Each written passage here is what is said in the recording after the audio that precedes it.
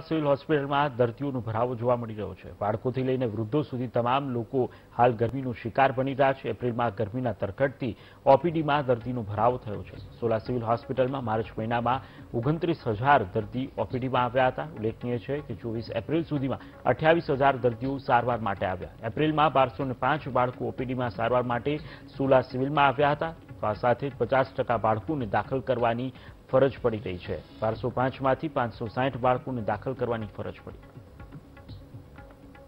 જોઈએ તો પાણીજન્ય રોગચાળામાં વધારો થયો છે અને એનું મેઇન કારણ ગરમી અને દૂષિત પાણી હોઈ શકે છે. અત્યાર સુધીમાં જોઈએ તો ઝાડા ઉલટીના ચુમ્માલીસ કેસ છે. ઝાડાના ઇઠ્યોતેર, કમળાના આઠ અને ટાઇફોઇડના છ પોઝિટિવ કેસ મળ્યા છે. આ બધા કેસો એવા છે કે જે પાણીજન્ય રોગચાળામાં ગણાય. મહિનાની, આખા મહિનાની ઉપીડી ઓગણત્રીસ હજાર હતી. એની સામે અત્યારે ચોવીસ તારીખ સુધીના રિપોર્ટ પ્રમાણે અઠ્યાવીસ હજાર ઓપીડી છે. એટલે કે રોજની ઓપીડીમાં પણ વધારો થયો છે. અગિયારસો પચાસથી બારસો જેટલી આપણી ઓપીડી રહી છે. સેમ પ્રમાણ બાળકોમાં જ પણ જોવા મળે છે. બાળકોમાં ચાલુ માસમાં બારસો પાંચ બાળકોને તપાસવા પડ્યા. અને એમાંથી લગભગ પાંચસો સાહીઠ જેટલા બાળકોને એડમિટ કરીને સારવાર આપવી પડી.